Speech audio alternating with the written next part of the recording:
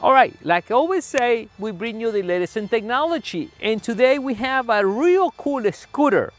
800 watt motor, that's equal to what? To 28 miles an hour. One single charge, I will get about 25 miles an hour. It has suspension, cool LED lights, and much more that you need to see that right now.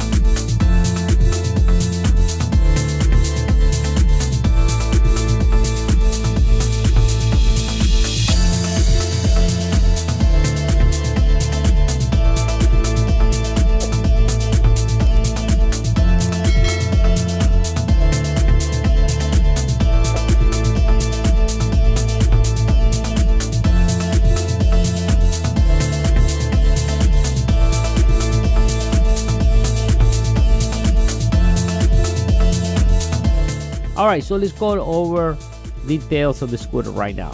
So the first thing I want to show you is the motor. 800 watt will allow me to go up to 28 miles an hour. We have suspension on both sides.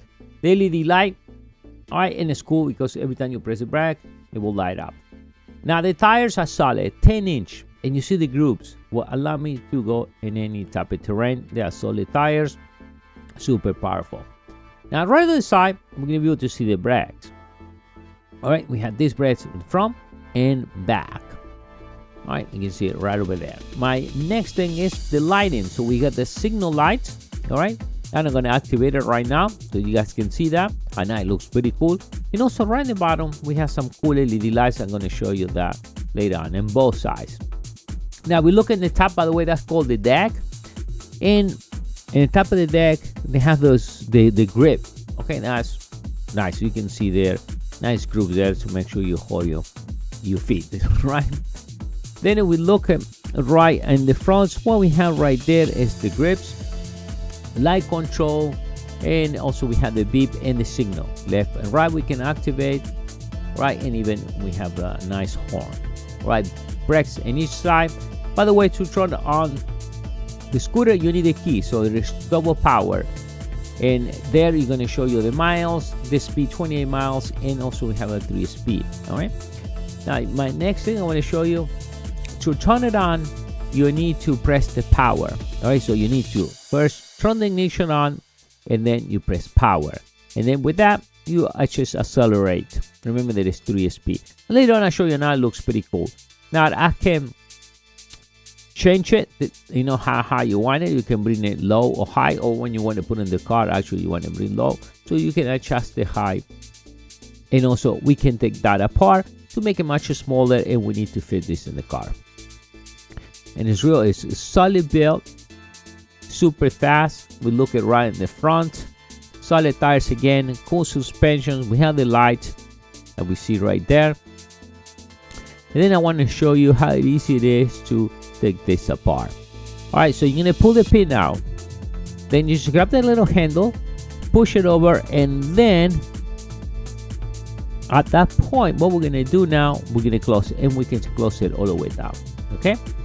Then to put it back, you put it away again, pull the pin out, and that's it.